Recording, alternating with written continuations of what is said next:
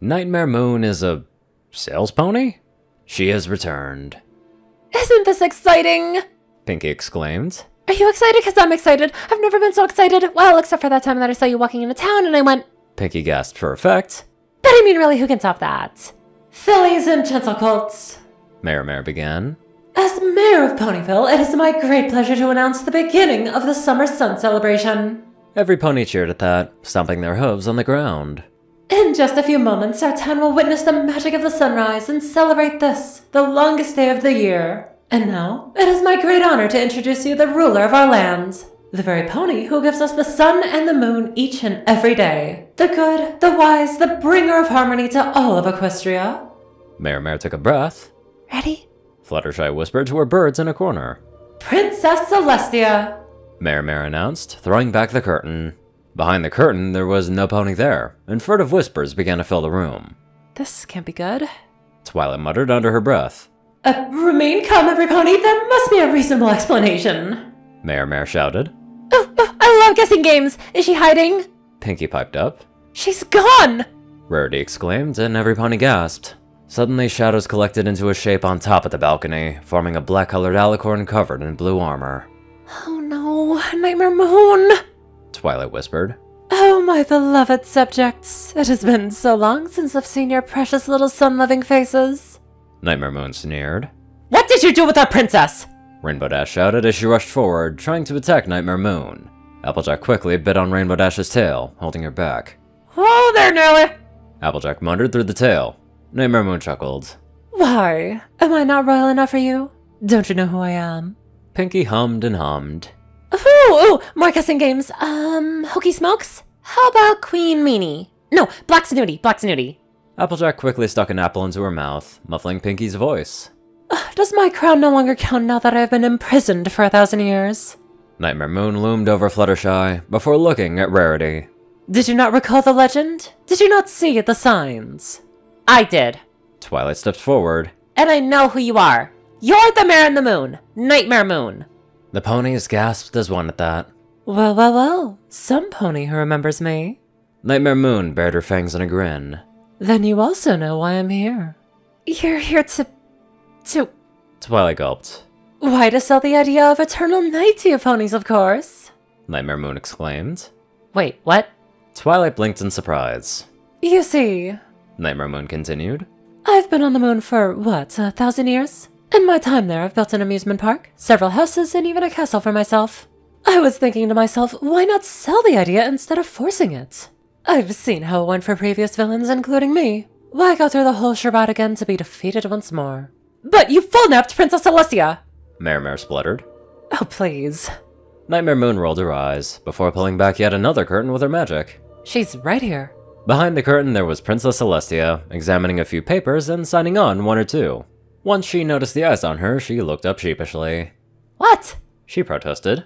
My estranged sister offered me 9% tax rebates on all tourism on the moon. How am I supposed to refuse that?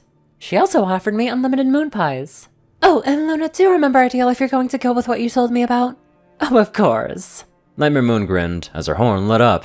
Her form shrank down as the armor disappeared to be replaced by regalia. Her black fur changed color, lightening to a lighter shade of blue. Even as the crowd watched, the regalia was covered by a suit, and also a suitcase popped into existence beside her. In short, she now looked like a sales pony. Any questions? Half the crowd raised their hooves. No, the moon isn't made out of cheese. Nightmare Moon said through a gritted smile. Any other questions? Half the ponies who raised their hooves lowered them. Twilight raised her hoof tentatively. You there. Nightmare Moon pointed at her. Well, I was wondering. Twilight sheepishly pawed at the ground. If eternal night is the thing, then what happens to Princess Celestia's raising of the sun? And if there's supposed to be tourism on the moon, then how do we breathe on it? For the first question, young mare. Nightmare Moon cleared her throat. Celestia will no longer continue to raise the sun.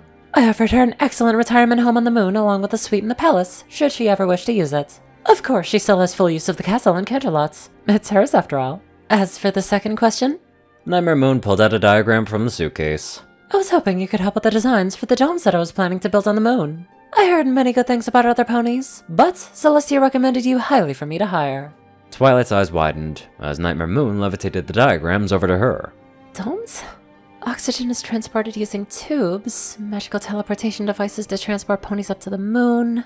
She sat down on the ground as her eyes began ranking through the diagrams and scanning them. Occasionally, she would scribble something with a quill. Does this mean that she accepts? Nightmare Moon looked at Celestia, who answered with a nod. Applejack raised a hoof. Yes, the orange earth pony. Nightmare Moon gestured to her. Is the whole Eternal Night thing gonna affect my crops? Applejack questioned. Nightmare Moon shook her head. Heavens no, I would not want my subjects to die of starvation. The air will be saturated enough with magic to replicate the effects of sunlight, letting your plants photosynthesize. Alternatively, you can claim the sun lamps from my new administration once it's set up. Uh, how is Eternal Night going to affect equestrian tax policies? Mayor Mare suddenly asked. You'll have 7% less tax, reducing the current 12% to 5%. Nightmare Moon explained. General service tax will be reduced from 8% to 2 As an added bonus, I'll be adjusting a few tax policies so that the less privileged will not have to pay as much tax. Celestia raised a hoof. So, how do you expect to make up the deficit? She questioned. That much decrease in taxes will make a dent in the government funds. Oh, that will be easily solved. Nightmare Moon smiled. I'll put more focus on the tourism industry to get more funds. I'll establish trade relations with our neighbors and open up channels between our countries for more economic relationships. What will be your stand on non-equestrian countries? Rarity quickly asked. You know, diamond dogs, minotaurs, and the such. Trade relations, of course. Nightmare Moon answered. But if they wish to attack my new reign, I will crush them with all of my might. No creature will harm the interests of the ponies. Is military service mandatory? Rainbow Dash yelled from the back of the room. Nope. Nightmare Moon shook her head. It is on a volunteer basis. But if you do sign up, you'll get free three meals a day, generous pay. The ponies looked unimpressed at that. And a free pith helmet. At this, the ponies oohed and nod. Sick, I love those. Rainbow Dash grinned. Count me in. Others chimed in their interest with Rainbow Dash. The Equestrian Army will also be renamed. Nightmare Moon continued. To the Raiding Shadow Legends. This is, of course, helped by our sponsor, Skillshare. Skillshare is a. Uh, let's skip the advertisements and do that later, shall we? Celestia suggested. Oh, yes, yes, of course. Nightmare Moon coughed. Any other questions? Twilight raised her hoof. Yes, Twilight Sparkle? If we're experiencing eternal night, Twilight asked. how are we supposed to tell time? With the help of our other sponsor, of course. They have generously provided enough funds to supply clocks to every household. Nightmare Moon beamed. Our other sponsor is NordVPN. NordVPN will keep your travel history safe from your parents, spouses that you're cheating on, and I think that will be all for this sponsor. Celestia coughed awkwardly. I think so too. Nightmare Moon nodded. Are there any other questions? None? Very well. To end off, a bonus for you all. Forever will the stars be arranged in beautiful art patterns. Every 24 hours, the stars will change locations, changing to a new art form. How are we supposed to navigate then? A random sailor yelled. Why, with the help of our sponsor, of course. They have provided boxes of compasses to every sailing and shipping company. Our sponsor is Honey. With Honey, you can save on every purchase you make with coupon Luna. No!